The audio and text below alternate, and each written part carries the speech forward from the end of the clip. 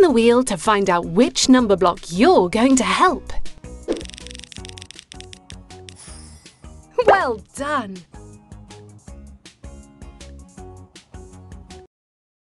Can you help number block 6 place snakes and ladders on her way home? Trace the line and help the number block get home safely.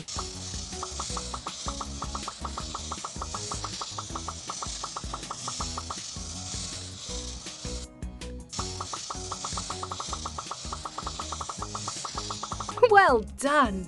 She's on her way. She's nearly home. You've done a great job of helping her.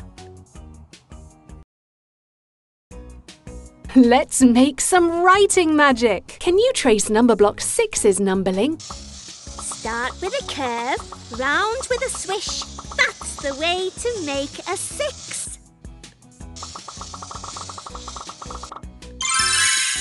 Six dice. Great job.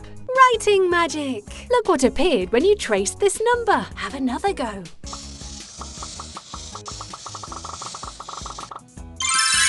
Board game. Excellent tracing. You made writing magic. Do it again to unlock another favourite thing. Have another go.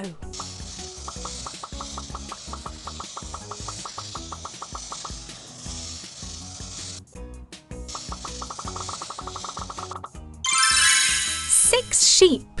Excellent tracing. Writing magic. Six dice. Board game. Six sheep. Drag one of the number block's favourite things onto their home. You help this number block go back home.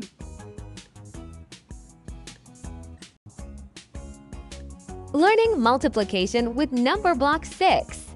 Let's explore how number block 6 multiplies. What is 6 times 6 equal to? That's right, 6 times 6 equals 36.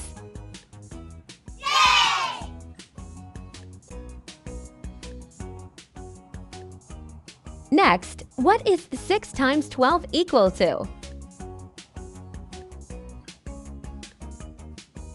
If you arrange 12 groups of 6 blocks, you'll have 72 blocks altogether.